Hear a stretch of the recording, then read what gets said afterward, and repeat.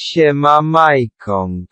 Mam takie pytanie, które ostatnio chodziło mi po głowie.